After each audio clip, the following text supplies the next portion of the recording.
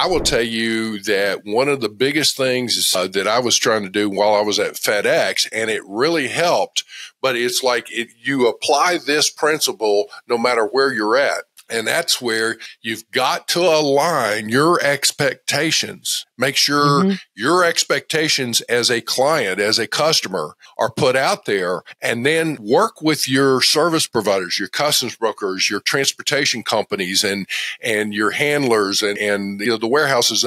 You need to really look at all of that and align with them to make sure that one, your service provider knows what your expectations are. Two, you need to uh, also be flexible enough that that service provider may not be able to fulfill your expectations. You may be a bit right. unreasonable. Regardless, right. it's like everybody should do it. No, wait a minute, just back up a minute.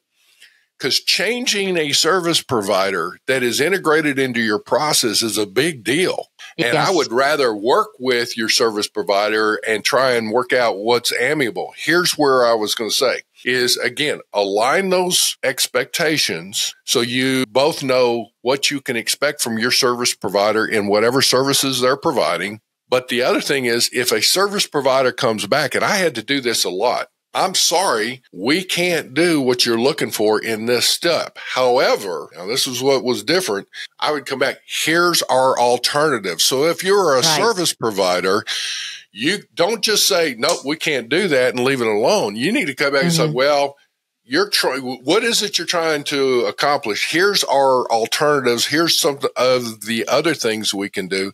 And it usually turned out that the way we accomplish things and and the uh, thing it, it, was even the the service was superior to what they their expectations were because we right. worked together on it. Right because everybody can be on the same system. You know, there's a very well known brand out there that is used by the industry, and I call it the beast. And it does any and everything, but it all depends on you may have secured another service provider that uses mm-hmm. that same system, but what module did they buy? How did they use the system and it varies i mean you know you're spot on in the in the level of expectation i always say mm-hmm. that when you're onboarding you should be meeting with that client depending on your volume you should be meeting with have a, a sit down and set up calls mm-hmm. in the eh, you know do pre onboarding of the client make sure that's okay expectations are met and then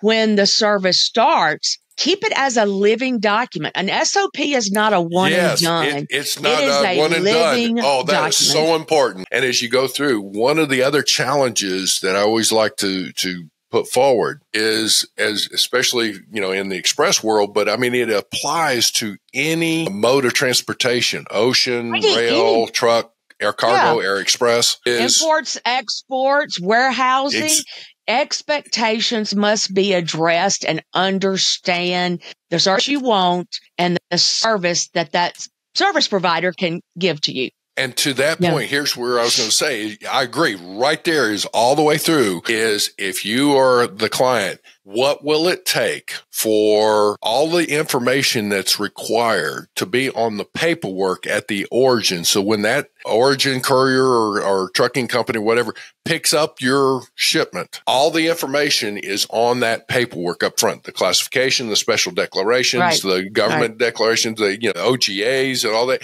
All right. So here's the thing. All of a sudden people look at it and go, well, wait a minute now, let me show you, say where usually this is where, to me, if you can't trust the paperwork, and I always ask this question, let me just ask it real quick and then I'll go on to the comment is if do you trust the commercial invoice and the paperwork that comes with the shipment? From the origin?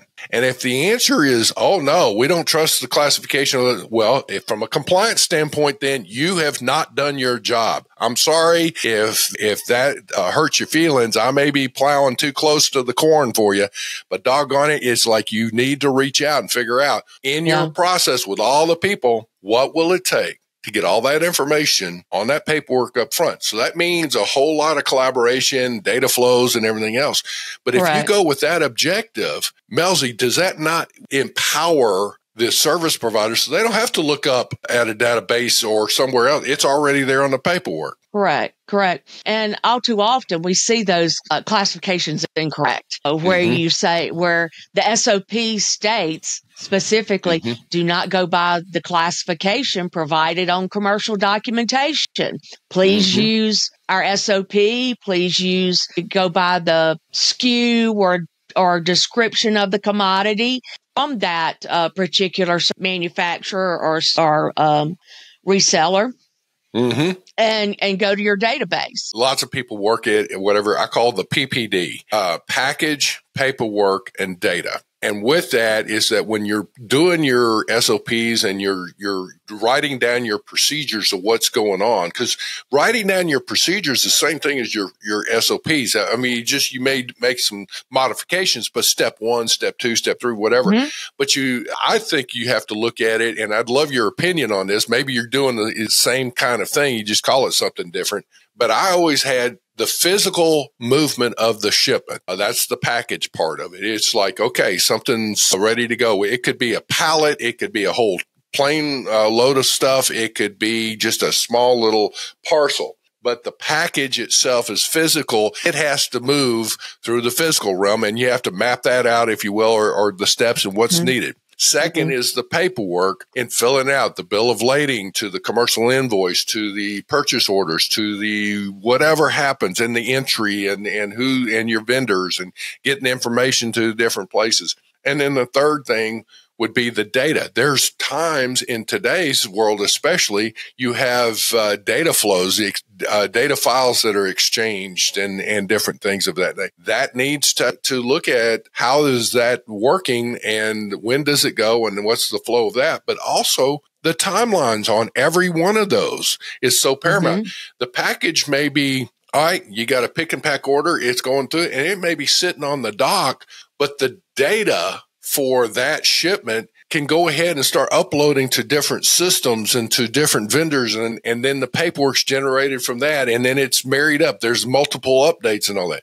What do you think about that? Yeah, I, I, agree with that with that approach when you're looking at and understanding the business. You know, mm-hmm. uh, is one key thing that um, the importer, exporter, or domestic warehouse that or, mm-hmm. or whomever is has the goods, you need to explain to the service provider that exact exact thing. How is the package mm-hmm. flowing? How is the paperwork flowing? And is there any data electronics? How is that moving through your supply chain? And then mm-hmm. in turn, that service provider needs to explain and and over how their process flows. You know, mm-hmm. are you having the right people at the desk and or at the table, so to speak, in communicating this? Because we all love our marketing sales guys, but a lot of times there are decisions made mm-hmm. that are, are commitments made based upon securing that business that doesn't flow exactly to um, the operations and even mm-hmm. to an import export manager over that particular uh, product for that company in that location.